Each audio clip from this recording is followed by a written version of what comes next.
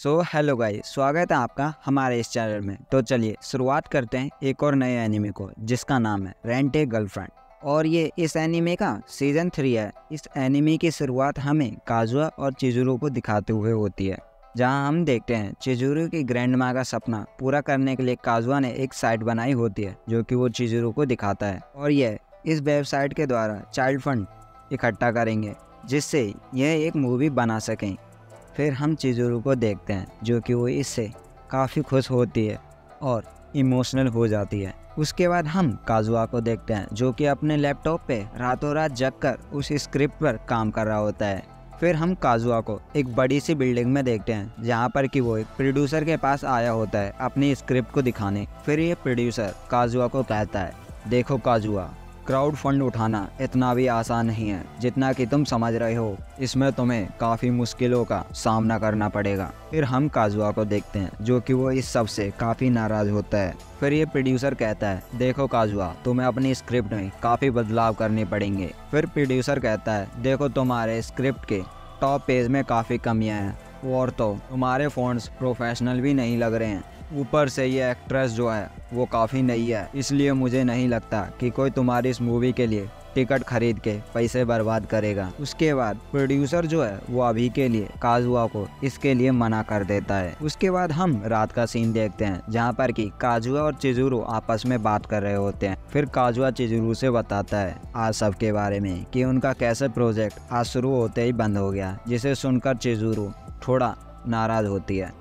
फिर काजुआ चिजुरो को कहता है कि तुम अपना स्टेज नेम चेंज कर दो, नहीं तो कॉलेज के सारे लोगों को पता चल जाएगा कि तुम पहले एक रेंट एक गर्लफ्रेंड रह चुकी हो। फिर चिजुरो कहती है, ये मैंने पहले ही सोच रखा था, लेकिन मैं अपने स्टेज नेम के साथ ही इस मूवी को करना चाहती हूँ, भले ही लोग मुझे कुछ भी कहें। फिर हम देखते हैं चिजुरो काजुआ को प्रोड्यूसर कह देती है, जिसे देख के काजुआ जो है, वो ब्लेस करने लगता है और थोड़ा शौक होता है। फिर काजुआ चिजुरो को कहता है, देखो मुझे, अपने स्क्रिप्ट के लिए तुम्हारे हमारे टॉप पेज के लिए कुछ इमेजेस चाहिए होंगे। तो क्या तुम मुझे वो कुछ इमेज दे सकती हो? फिर चिजुरू कहती है, ठीक है, मैं तुम्हें अपने फ़ोटोज़ दे दूँगी। फिर हम काजुआ के राइट वाले रूम से एक लड़की को देखते हैं, जहाँ पर कि ये लड़की कहती है, तुम इतनी रात को क्या बातें कर रहे हो? जिसे देख के काजुआ जो है, वो थोड़ा सौक जाता है कि अभी तो यहाँ पर कोई नहीं रहता था। ये अचानक से ये लड़की कहाँ से आ गई? फिर ये लड़की कहती है, अगर तुम्हें इतनी देरी बात करने में अच्छा लगता है तो तुम एक दूसरे को डेट क्यों नहीं कर लेते? जिससे चिजुरू काफ़ी शर्मा जाती है।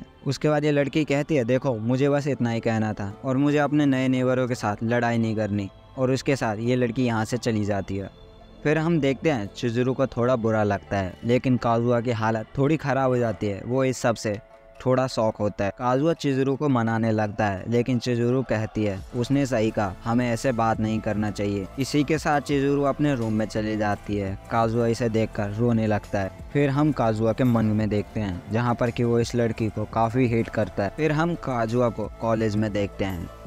काजुआ कहीं पर जा रहा होता है, तभी वो उस लड़की को देखता है और वो उसे देखकर किसी चीज़ के पीछे छुप जाता है। लेकिन वो लड़की काजुआ को नोटिस कर लेती है और कहती है, तुम तो मेरे नेवर हो ना? तुम यहाँ पर क्या कर रहे फिर काजुआ बताता है, मैं इस कॉलेज में सेकंड ईयर का स्टूडेंट हूँ, जहाँ पर की लड़की कहती है, इसका मतलब कि तुम मेरी सीनियर हो और मैं फ़र्स्ट ईयर की स्टूडेंट हूँ और मेरा नाम है ह्यू मेरी मिनी लेकिन हम इसे इस एनीमे में सिर्फ़ मिनी कहकर बुलाएँगे। फिर मिनी काजुआ से माफ़ी मांगने लगती है कल के लिए। फिर मिनी अपने फ्रेंड से काजुआ को इंट्रोड्यूस करती है। फिर काजुआ सोचता है, कहीं मिनी, इनके बारे में बता ना दे काजुआ मिनी से कहता है, मिनी, क्या तुम मेरे साथ बाहर बात करोगी? उसके बाद हमें काजुआ के क्लास का सीन दिखाया जाता है, जहाँ पर कि उसके दोस्त आपस में बातें कर रहे होते हैं कि काजुआ यहाँ पर आ क्यों नहीं रहा। फिर हम देखते हैं, काजुआ का एक फ्रेंड उसके बारे में बताता है। काजुआ दिन भर अपने लैपटॉप में लगा रहता है, इसका मतलब कि वो फ्री नहीं है। और ये सारी बातें, ये लड़की सुन लेती है, जो कि काजुआ की एक्स गर्लफ्रेंड रह चुकी होती फिर हम काजुआ और मिनी को देखते हैं, जहाँ पर कि काजुआ मिनी से बता रहा है कि हर किसी एक की प्राइवेट बातें होती हैं। और कहता है, मेरे और चिजूरों के बीच में जो भी बातें हुई है, वो तुम किसी को मत बताना। फिर मिनी कहती है, इसका मतलब कि तुम डेट कर रहे फिर काजुआ कहता है, नहीं, ऐसी बात नहीं है। और इसे देख के काजुआ थोड़ा ऑकवर्ड हो जाता है। फिर हम रात का सीन देख हम देखते हैं कि काजुआ अपने लैपटॉप में काम कर रहा होता है और वो थोड़ा टेंशन में होता है, क्योंकि उसे पता है क्राउड फंडिंग उठाना इतना भी आसान नहीं है। उसके बाद काजुआ काफ़ी पॉपुलर स्टोरियों को देखता है, जहाँ पर कि वो एक बात को नोटिस करता है कि ये सारी कहानियाँ किसी न किसी एक रिलेटेड कारण से जुड़ी हो फिर काजुआ कहता है, इसका मतलब कि हमें एक रियल स्टोरी बनानी पड़ेगी। लेकिन हम रियल स्टोरी किसकी बना सकते हैं? फिर काजुआ को चिजुरू की दादी के ऊपर एक फ़िल्म बनानी चाहिए और ये कहानी शायद हिट भी हो, लेकिन इसे यह कहानी बनाने के लिए चिजुरू की परमिशन लेनी पड़ेगी। तभी इसके फ़ोन पर एक नोटिफिकेशन आता है, जो कि चिजुरू का होता है। और यह मैसेज चिजुरू का होता है, चिजुरू कहती है, मैं कुछ देर में तुम्हारे रूम में आ रही हूँ। और इसे देखकर काजुआ हैरान हो जाता है और वो जल्द से जल्द अपने रूम को साफ़ करने लगता है। उसके कुछ देर के बाद चिजूरो रूम में अंदर आ जाती है, लेकिन काजुआ जो है, वो चिजूरो को देखकर हिल भी नहीं पा रहा होता फिर चिजूरो कहती है तो हम उस स्क्रिप्ट पर काम करें, वरना हमें क्राउड फंडिंग उठाने में दिक्कत हो फिर हम काजुआ को देखते हैं, जो कि चिजुरू को देखता है, और फिर उसे, उसकी दादी की याद आती है, जहाँ पर कि वो कहती है, मैं सिर्फ़ अपनी चिजुरू को एक बड़े पर्दे पर देखना चाहती हूँ, जिसे देख के काजुआ मोटिवेट हो जाता है और वो फिर से अपनी स्क्रिप्ट पर काम करने लगता है। फिर काजुआ कहता है, हमें अपनी मूवी बनाने के लिए कम से कम 1.8 येन की ज़रूरत पड़ेगी फिर चिजुरू कहती है, क्या हमारा इससे काम हो जाएगा फिर काजुआ कहता है, वो ना तो चाहिए उसके बाद ये दोनों अपने सारे एक्सपेंस को जोड़ते हैं, जहाँ पर कि टोटल में 1.8 ट्वेंटी थाउज़ेंड आते हैं। फिर चिजुरू काजुआ को फोकस देकर अपने ग्रैंडफादर की याद आती है, जहाँ पर कि उसके ग्रैंडफादर की सिर्फ़ एक ही विश होती है कि वह अपनी पोती को एक बड़ी स्क्रीन पर देख सके। और शायद ये सपना जल्द ही पूरा होने वाला है। फिर हम काजुआ को देखते हैं, जो कि अपने आप पर कंट्रोल नहीं कर पा रहा होता है। और काजुआ उसके चुजू मुजू और उसके लिप्स को देखने लगता है। फिर काजुआ कहता है कि मैंने चिजुरू को कभी इतने पास से नहीं देखा। और ये सब देखकर काजुआ बावला होने लगता है। उसके बाद चिजुरु काजुआ को अपना एक फ़ोटो दिखाती है और ये फ़ोटो काफ़ी क्यूट होता है, जिसे देख के काजुआ अपनी फीलिंग में बह जाता है। उसके बाद काजुआ चिजुरु को कहता है, अगर हमें अपनी स्क्रिप्ट के लिए क्राउड फंडिंग चाहिए तो हमें एक रियल स्टोरी बनानी पड़ेगी, जिसके लिए हम तुम्हारी दादी की मदद ले सकते हैं। मतलब कि हम तुम्हारी दादी पर एक मूवी बना सकते हैं, जो कि काफ़ी हार्ड टचिंग और इमोशनल काजुआ चिजूरू से पूछता है। अगर मैं ये सब स्क्रिप्ट में लिख दूँ तो तुम मुझसे नाराज़ तो नहीं हो? अब चिजूरू कहती है, मुझे इससे कोई फ़र्क नहीं पड़ता। तुम चाहे तो मेरे दादी के ऊपर वीडियो बना सकते हो। काजुआ सोचता है कि कहीं चिजुरू मना ना कर दे, लेकिन उसने तो काफ़ी आसानी के साथ उसे हाँ कह दिया। फिर हम देखते हैं काजुआ के पेट में से आवाज़ आती है और फिर चिजुरू कहती है, क्या तुमने खाना नहीं खाया? उसके बाद चिजुरू उसके किचन में जाती है और देखती है कि कहीं पर खाना हो और वो उस काजुआ के लिए बना देते लेकिन काजुआ के घर पर कोई भी खाना नहीं होता तो वह अपने घर पर जाकर चिजुरू काजुआ के लिए खाना लाई होती उसके बाद काजुआ इस खाने को जल्दी जल्दी ख़त्म करने लगता है और इसे देखकर चिजुरू पूछ गया, तुम्हें ये खाना पसंद तो आ रहा है ना?